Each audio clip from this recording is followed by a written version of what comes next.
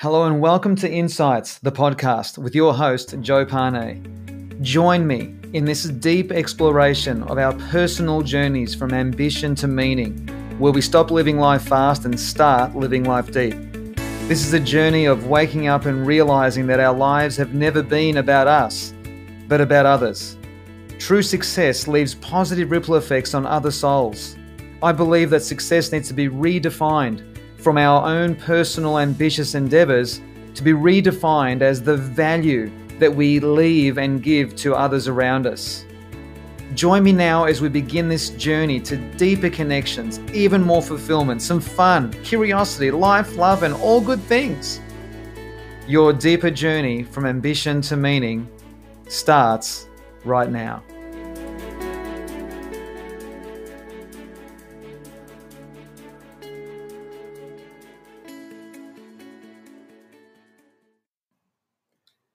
Hello, it's Joe here. Welcome to episode seven. So glad you could join me. So, let me ask you have you ever had any experiences in life where this is like a dumb question, right? Like, have you had experiences in life where you've been incredibly frustrated, where someone has frustrated you, or something has frustrated you, or, or you've lost your wallet, or you've lost your phone, or your, your computer's breaking down, you know, life is breaking apart, and we feel beyond frustrated. And then you get stuck in this mode or this mood, and then we have difficulty getting out of it, or it takes ages to get out of it. Have you ever had that experience? Or have you ever had the? I'm sure you have. We all have, right? have you had a, ever had the experience of being in the car on a gorgeous, sunny, like stunning day, 24 degrees, no wind, blue skies, just like life is just gorgeous. It's one of those days where it feels good to be alive and a certain song comes on the radio and your spirits are lifted and your mood is elevated and you're feeling phenomenal. Have you ever had that experience? Have you ever had the experience of anything in between or when you walk into a, a certain work environment, you know, the vibe of the place gives you a certain experience? Well, if you can relate to anything I've just shared with you, I'm, going to show you how it is that we create these experiences because we actually create the experience. It's easy to say, oh, it's the song that uplifted me. Uh, it's easy to say it's that person over there that frustrated the crap out of me. That's why I feel this way. Or the frustration of losing my wallet or whatever. It's because of the wallet being lost that I feel frustrated. It's easy to blame or to actually say that the external things have actually created the feeling on the inside, but it's actually not. We've created the experience of the experience from the inside out. And what I want to share with you is that there are fundamentally three questions that we are asking ourselves. And I know that in, in episode two, I, I spoke about three questions, but these are three completely different questions that are based on focus. You see, that when we are actually experiencing frustration, joy, anything in between, anger, um, thrill, uh, excitement, uh, sadness, any of these things, it's because of a combination of three specific areas that we focus on. Three specific areas that we focus on. In, in the thousands of people that I've coached over the last decade and a half, these three focusing questions I've used so many times to help people unstick themselves from situations where they seem to not be able to let go of the frustration or let go of the feeling that they don't like to feel. And it's because of these three questions. So let me share with you what they are, and then we can explore how we can use them in our everyday life. So, whenever we're experiencing anything, we're focusing one of three areas. In fact, we're focusing on all three of these areas, and they're based on three questions. And the first question is Are you focused on self or others? So, when we're experiencing something negative, something that doesn't feel good, that feels emotionally very ordinary, let's just go back to the frustration example. In the coaching that I've done in all these years, like 99.9% of the time, the client is focusing on themselves. So when there's a situation going on that's really ordinary emotionally and you're feeling really crap, you're not focusing on others. You're focusing on self. So that's the first question. And I'm going to go deeper on into this in the next few minutes. So the first question is what do you focus on, yourself or others? The second question is what are you focusing on? The past, the present, or the future? And the third question, which I reckon is so powerful and so simple, so elegantly simple yet powerful, is the third question is are you focusing on what's missing or are you focusing on what you're having? So let's go to the car scenario. You're driving, convertible, roof down, 24 degrees, no wind, blue skies, gorgeous day, great time to be alive. It feels amazing. Um, am I focusing on self or others? Well, as that song comes on, uplifting my spirit, I don't know about you, but I won't be focusing on myself. I'll be focusing on others. And what I mean by that, I'll be thinking about the people in my life and who I'm grateful for. I'll be thinking about my wife, my sons, my friends, my clients, different people, depending on the context of where I'm at. I'll be focusing on something outside of myself, how good life is, how great, you know, having the gratefulness of, or, or the gratitude of just being pain free or just breathing or having the fact that I can drive this convertible car in this blue sky day in one of the best cities in the world. I mean, really, that is just incredible. Whatever city you think is the best city in the world, I reckon it's Melbourne, but that's just me. And forgive me if I've offended anyone. So, but this is the thing we're focusing on others. The second thing is, are we focused on the past, the present, or the future? Well, in the car in that moment, enjoying the uh, experience of the the vibe of the air and the blue sky and the sunshine and so on, we're going to be focusing on the present because we're right there in that moment experiencing that experience. We might even be thinking about, um, you know, where we're going in, in on that day. What, what's the purpose of our trip that day, or whatever it might be. And the third question: What are we focusing on? What we're missing or what we have? Well, clearly in that moment, we're present to the moment and we're focusing on what we actually have, which is that experience in that moment. Now, if I do a flip, think about a situation when you're frustrated, when you're peed off and you're not feeling all that great. Chances are that you'll be focusing on yourself, you'll be focusing on the past, and you'll be focusing on what's missing. There's on the balance of probability from a human condition perspective, if you're focusing on the combination of self, past, and what's missing, you're creating a very ordinary experience for yourself. And you can be anywhere. You could be at a concert that you love. You could be with someone that you care about. You could be doing a form of exercise or playing your favorite instrument or doing whatever it is that lifts your spirit. And if all you're focusing on is self only and the past only and what you're missing only, chances are, not absolutely, but chances are you're going to be feeling very ordinary. But if we flip that and change the combination of those three focus points and we focus on others, because as you can gather from my opening of, of this of what this podcast is all about is this podcast is all about redefining success. Is that success shouldn't be defined purely and only on our personal ambitious endeavors. Whilst that's very important but if that's all if that's isolated and that's all it is success is very superficial because that tends to lack long-term fulfillment True success, as, as you've heard me say, is about the value that we bring to other people, the value that we bring to our market, the value that we bring to our family, the value that we bring to our community, the value that we bring to our sport or to our country or whatever the context is.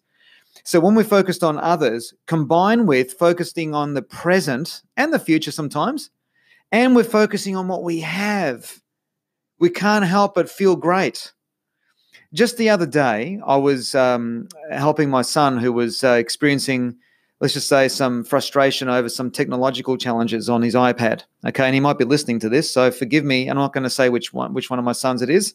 Anyway, that's the whole risk of this podcast. As I speak about people who are in my personal life who might uh, react a bit funny to what I'm saying. But I said to him, I said, "Hun, right now you're frustrated because you're focusing on what's missing.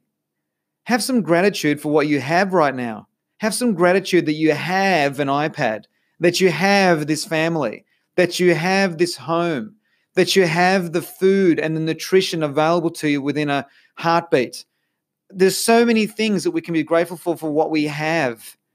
But the moment we flip our focus or shift our focus to what's missing, welcome to the seeds of frustration. Welcome to the seeds of hell. And if by default all we do is focus on what's missing in life, now this is me talking to you guys. This is not me talking to my 11 year old anymore because I, I think he has enough of me sometimes. But the point I want to, and I don't talk to him like this all the time, my God, because this is just uh, fundamental stuff that I sometimes share with him to help him with his emotions.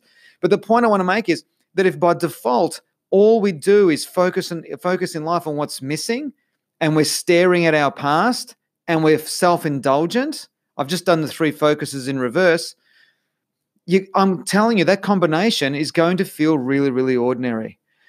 So, anyone who's a victim of their own thinking, anyone that you know who's experiencing some kind of flatness. Now, let me just share with you another tip here.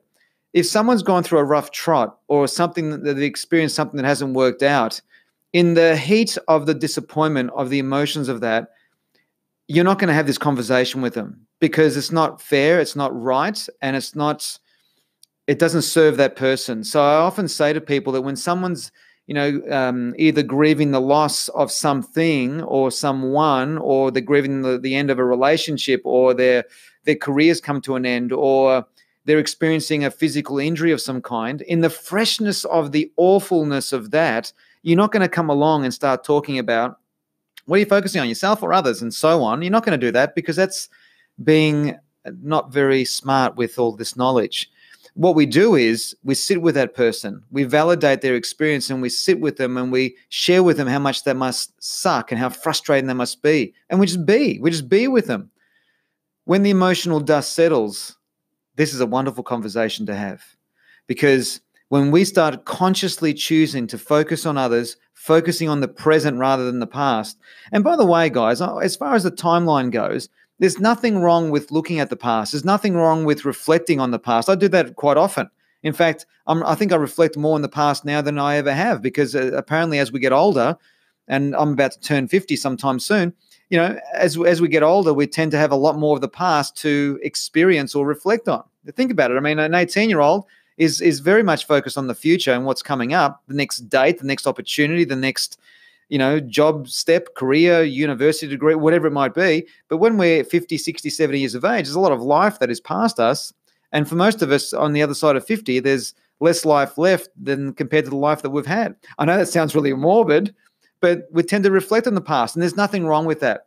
The problem with the past is when we stare at it. And what I mean by stare at it is that all we do is think about the past. All we do is talk about the past. All we do is think about the past. All we do is bring up all the pain of the past and just stare at it. Well, all you're going to get is past FM. And what I mean by that is literally this works like a radio station.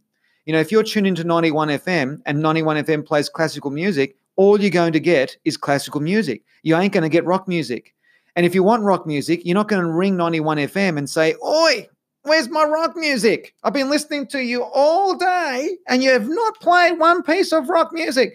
I mean, the guy there would say, Excuse me, sir, but this is a classical music station. And what you need to be doing is moving your focus, changing the dial to 104 FM where they can play your blessed rock music. You see, it's, it's like that. So what happens is, we shift our focus. So if we're focusing on past FM, it means you can't be there for the people that you're with. You can't be there for the people that you love. You can't be there for the experience that you're currently having.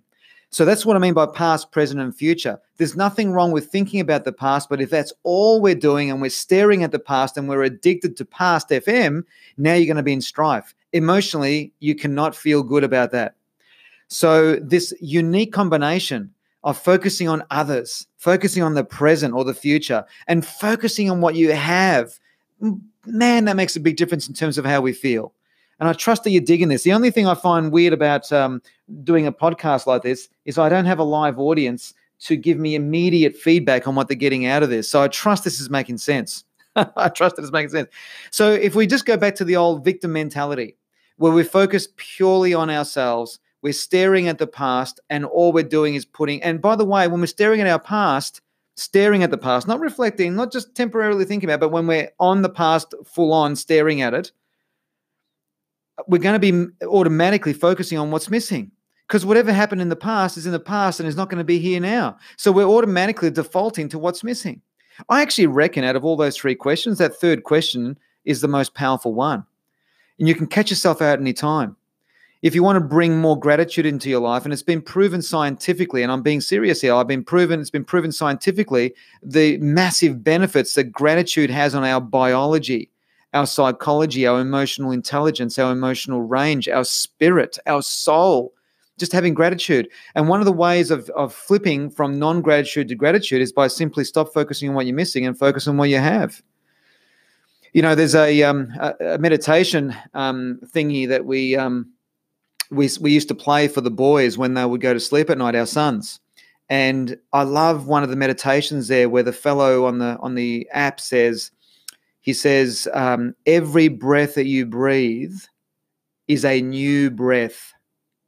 And the breath you're about to breathe is a brand new breath, a breath you have never breathed before. And guys, you know, the day I don't want to I don't want to get all, all all too deep on you here while you're perhaps driving your car listening to this, but I've got to tell you that uh, you know one day the last breath will come. It's just that you and I won't know when it is. But how's that for a thought? That the next breath you've never breathed before. It's a brand new breath. Every breath is unique. They might seem the same, but there's subtleties and there's differences. So that's a fundamental way of focusing on what we have, our breath focusing on what we have, our body, focusing on what we have. Living in Australia, if you're an Australian listening to this, or living in a any part of the world where you deem yourself lucky, well, I'm from Melbourne, Australia, and I deem myself very, very lucky to be living here in all of its glory. I just think it's phenomenal. Now, maybe I'm a little bit biased, but hey, you know, that's just how I feel. That's just the way I look at it. So the point I want to make is do you spend more time focusing on what you're missing or are you spending more time on what you have? And my tip here is start putting more effort and energy and focus and attention in what you have. That means through what you think about, it means through what you talk about, it means on what you um, tend to bring up in conversations with friends and family or people that you care about uh, deeply. You know, it's it's it's just a fundamental thing, isn't it? Just that, that one question can shift the dial of your metaphorical emotional radio station in a heartbeat. So to sum up our conversation today, and I trust that you're digging and loving this. And and and please, you know, make. Com- I'd love to hear your comments because uh, I'll come back to the recording of this podcast, of course, and would love to see your comments on what you're learning from today. And some of you on this call might be clients of mine who have heard me have this conversation with you many times, and maybe perhaps you've picked up on a key distinction. I'd love for you to share that. So, if we're focusing on ourselves, we're focusing on the past only, and we're focusing on what's missing, you're guaranteed to have a very ordinary emotional experience of any moment. It could be a moment that's really crap, or, or, or even if it's a moment that should be celebrated and phenomenal, but yet emotionally we're feeling disengaged. Now, there's lots of reasons why we would feel emotionally disengaged, and this podcast, this episode, is covering off on one of them, and that is these three prong focus areas. Instead, if we start focusing on others, start focusing on the present, and focus on what we have, it completely changes the way we feel. So I trust and hope, guys, that what I've been sharing with you today is something that uh, I'm sure you agree is something immediately applicable, immediately something. Share this podcast with someone that you care about so they can hear what I have shared with you today. Because sometimes, you know, it's really funny, you know. Um, I remember as a kid, you know, my dad would be telling me to do certain things and uh, I wouldn't listen, you know, when I was 17, 18, 19. But if you got someone else in who would say the same thing, and uh, someone who I um, uh, held up, you know, who I respected in a different way, I would listen to what they said. So sometimes maybe you've been having this conversation with other people, I don't know, but sharing this with other people perhaps maybe might add value and help them in some way in how to manage the way they feel about their experiences. So there you have it. That's episode three. And I trust that you've enjoyed it. What are you focusing on? Because fundamentally, these three focus questions, self or others, past, present, or future, on what you're missing and what you're having. Those three focus areas come under the the uh, the grand title of what we focus on is what we get, to the exclusion of everything else. What we focus on expands, and what we stop focusing on ceases to exist. So if we're focusing on others, we can't focus on ourselves. We can't focus on two radio stations at the same time. We can only focus on one radio station at a time. It's impossible to hear 91 FM and 104 FM. It's impossible to focus on ourselves and others. We're focusing on one or the other. It's impossible to focus on the past and try to have a hold on the present. It's impossible to be grateful for what we have if all we're doing is focusing on what we're missing. What we focus on expands.